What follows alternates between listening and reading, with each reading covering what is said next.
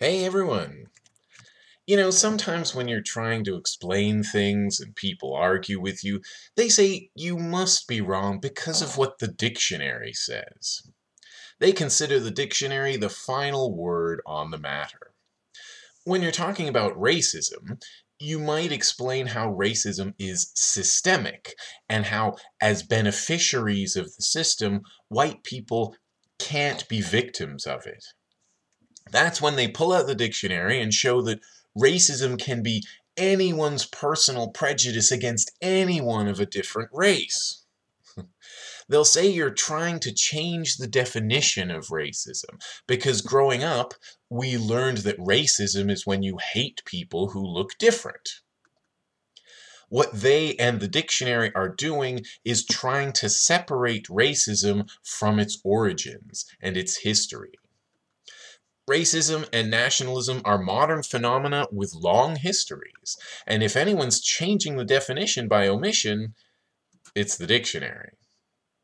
I'm Chris, and this is what had to be said. When we're talking about racism, we mean white supremacy. Okay? White people created the rigid racial categories that have shaped the past 500 years of history so much, and kept them in place to this day for their own benefit. That history can't simply be ignored when trying to understand racism.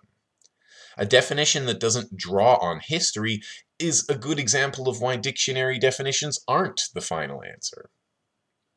Who says the dictionary companies get the last word? Language doesn't really work like that. The people who make the dictionaries do lots of research, of course, but they're still individuals and they're still influenced by cultural and institutional factors. You know, institutional, like who's paying and who's getting paid. They don't want to rock any boats. So saying the dictionary says something isn't the end of the conversation.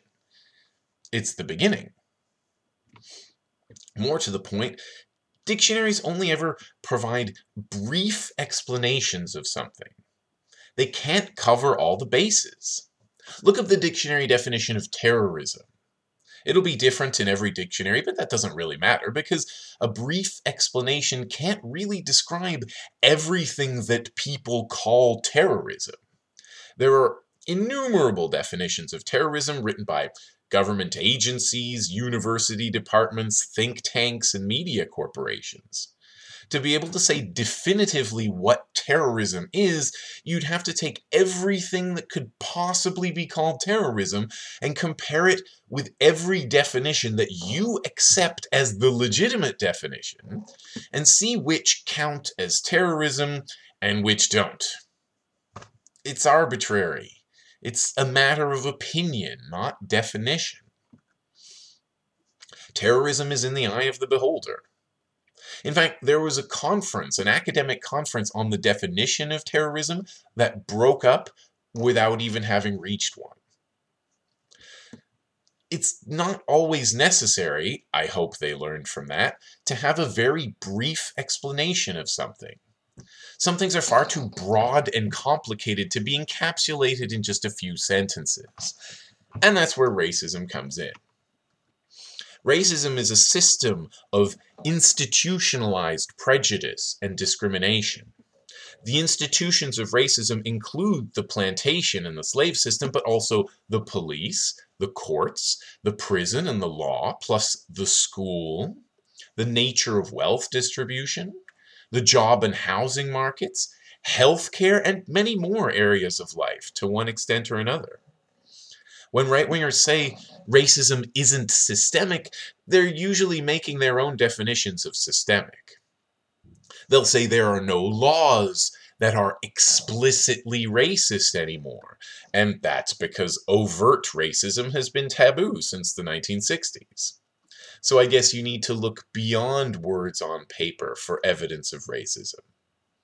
You could look at who's getting disproportionately arrested and who's getting sentenced to longer, harsher punishments, who's more likely to be killed by police, who's more likely to be poor and why, who's more likely to get turned down for a job or a loan, and who's more likely to get pepper sprayed for blocking a road. Does the dictionary mention any of that? And why are things like that anyway? Does it have anything to do with centuries of history? Or did things just magically fall into place this way recently while I wasn't looking? This narrow definition of racism is useful to the same people when they talk about Muslims. They're fine with stereotyping Muslims, treating them like shit, encouraging violence against them. These prejudices have the same origins as other manifestations of racism, like a racist system telling you to fear foreign brown people with a different religion, giving you all kinds of bullshit reasons to hate them. And they have the same effects as racism fear, discrimination, violence, including all the US's wars over the past 20 years. But it's not racism, they'll say, because Muslims aren't a race. Checkmate! so it looks like a duck, quacks like a duck, and even came from a duck, but the dictionary says it's not a duck, so I'm off the hook for any shit I talk about Muslims. if only mental gymnastics were a real sport. One reason people move to the right is fear. They fear crime and drugs and inner cities and gangs and illegal immigrants. And all these things are presented to them as dark skinned people. When the media and the people around you tell you about black and brown people with no historical context, no social context, and no sympathy, and you don't question them, you might end up afraid of big groups of people too. But it's not just the right. The point of systemic racism is you're affected by it regardless of what you think. It's woven into the culture. Liberals, leftists, even people of color can be racist. It's better not to think of it as an individual thing and think that, just like all propaganda, racism has affected your thinking from a young age. It's not so much that you are a racist, just that you grew up in a racist culture.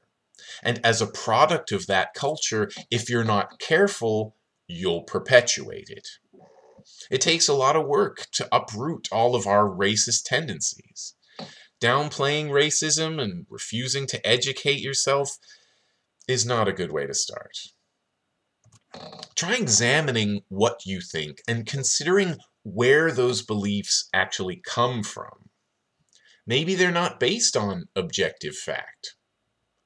Maybe the dictionary has been holding back our understanding of racism this whole time.